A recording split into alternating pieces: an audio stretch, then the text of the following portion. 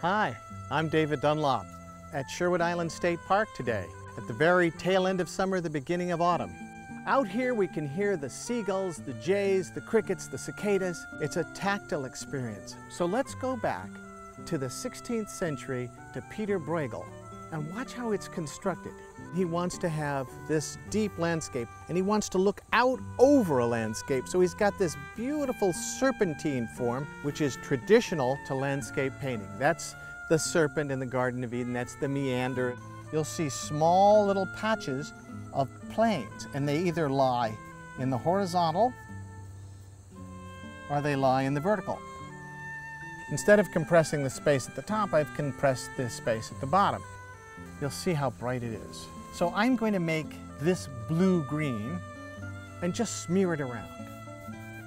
Now, a complementary color to green is violet. The light lands generally on the crown. Now, the higher up I go, the bluer the sky is, so I'm going to make a little richer blue. I'm going to take away this tape and leave you with the window. I'm David Dunlop. I'm a landscape painter.